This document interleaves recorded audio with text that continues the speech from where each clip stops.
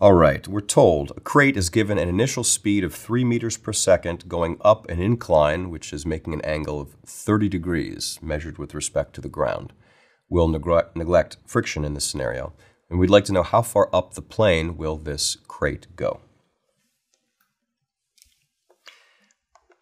So whenever you're starting a problem out, besides drawing a picture and drawing a simplified picture if you need to, it may be worthwhile to imagine what the scenario is going to look like.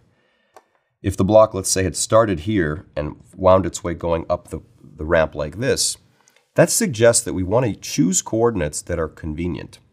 In other words, we want to choose a coordinate that goes along the direction of the ramp and perhaps also a coordinate that goes perpendicular to the ramp. So that's actually the first place I'm going to start. I'm going to draw coordinates. I'm going to let the x direction go down the ramp. And that's just a personal choice. You could have it going up the ramp. That would be fine as well. So let's choose coordinates like this. x going down the ramp, y going up the ramp. Since we have a picture already, that's great. We're ready to draw a free body diagram, FBD.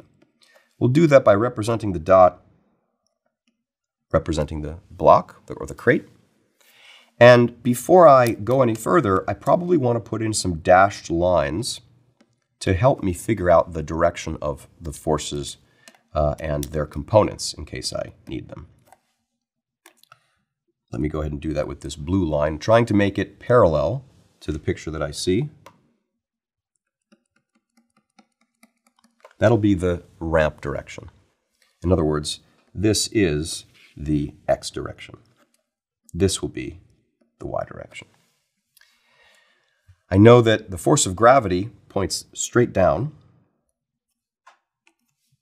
looking something like this. That's Fg, or mass times g. I also know that the surface, the plane, provides a force that stops the block from falling into it. Now there's no friction, so there's no force that is parallel to the surface, but there is a force that is perpendicular to it. That is what we call the normal force, the force that a surface provides that points perpendicular in all senses to that, to that surface. There are only two forces. The normal force is convenient as we've chosen our coordinates because it points purely in the y direction, but you notice the force of gravity points both in the x and the y direction according to those coordinates. So what we're going to do then is take the force of gravity and break it up into components that are convenient. And in order to do that, I'm going to take my blue color and I'm going to again draw in some dashed lines to help to guide my eyes. This is in line with the normal force, which means that it is in line with the y direction, or the negative y direction technically. And as long as I'm doing this, I could put some dashed lines through the head of the gravity arrow as well, and that will help me to decompose these components. I'm going to do that by drawing another dotted line that goes parallel to the one that I just drew. There's no harm in drawing extra dotted lines. And I'll make a dotted line that goes parallel to the initial dashed line that I drew. So there, there we go. Those two dashed lines point parallel to x. The other ones point parallel to y. Now that I've done that, I can easily see that there is a right triangle, and I can identify the right triangle here. I can also identify a right triangle here. And uh, it's not yet clear which one is, is useful. One more thing I could do if I, if I so chose, I could also indicate the ground, which I'll put here. And I'll do that so that I can identify the relevant angle. If this angle is called theta, which in our problem is 30 degrees, then you could convince yourself that this angle was the complementary angle to theta, which you could call phi or anything else that you like. But if that is complementary to theta, then the complement to the complement must be theta, which means that this angle is also theta. I'll leave it to you to prove that. Given that information, it now becomes a little bit easier to decompose the gravitational force into its parallel and perpendicular components. What I mean is, This side length of the triangle, we can call this the perpendicular component of gravity because it points perpendicular to the surface.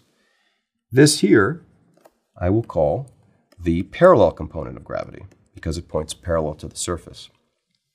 Following the usual rules of trigonometry, this is also a parallel component. We can determine what those components must be. This one involves the opposite side, so it involves sine of the angle. Perpendicular component involves the cosine of theta. So we're done taking our force vectors, making them nice and convenient, and now all we need are the ones that point in the y direction or the x direction. Let's go ahead then and figure out something to do with the motion of the object, which is moving only in the x direction. We will need to apply a concept. So let's think about the concepts that we might need.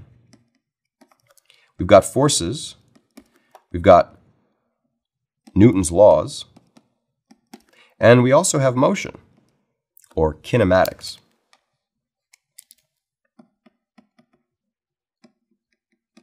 So the equations that might correspond to those concepts, Newton's laws, Newton's second law in particular tells us the net force acting on an object is equal to its mass times its acceleration. The kinematic equations are the ones that look like this. x is equal to x naught plus v naught t plus dot dot dot. v is equal to v naught plus at and v squared is equal to v naught squared plus 2a delta x. What are the knowns? We know the initial speed, v naught. We know this angle, theta. We actually do know the final speed because we want to know how far up the plane it will go. At its highest point, the final velocity will be equal to zero. So when we go to make our list of, of quantities, x naught, x, v naught, v, a, t, we could choose, for example, x naught to be equal to zero, final x is unknown. The initial velocity is 3 meters per second, but on its way up the ramp. So to be consistent, if I've oriented my coordinates like this, I'll make v naught equal to minus 3 meters per second. You don't have to do that, but I need to do it the way I've drawn the picture. The final velocity is 0. The acceleration is not known, but we can figure that out. The time is also not known, but I suspect we don't need it. Let's go ahead and try. If we need to know something about this is what we really want to know its final position, we'd love to be able to use one of these kinematic equations. The simplest one is probably this because it doesn't involve time. We don't know the time, we don't need the time. But it's only possible to know if we know the acceleration. So that's what we need to do. We really need to figure out what the acceleration is in the x direction. So let's see if we can therefore apply Newton's second law to figure out that acceleration. Newton's second law in the x direction is actually now quite simple because there's only one force that points in that way. Here it is. That tells us the net force in the x direction is equal to the parallel component of gravity. That's equal to m times the acceleration in the x direction Therefore, this is Fg, which is mg, times the sine of theta, and that's equal to mass times acceleration. The masses cancel, and so we've learned what the acceleration must be in the x direction.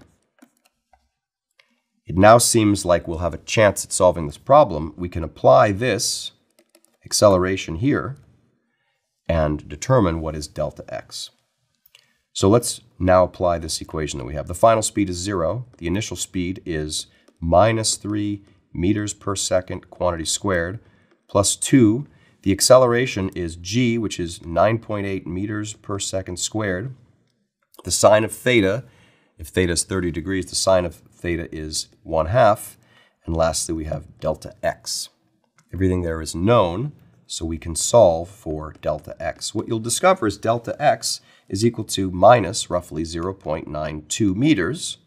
The fact that it's negative makes sense given that we've oriented, uh, oriented our coordinates so that x is increasing down the ramp. So x started somewhere and it moved its way up. So its displacement in those coordinates is negative. So we could, in our final answer, write that the displacement was 0.92 meters up the ramp.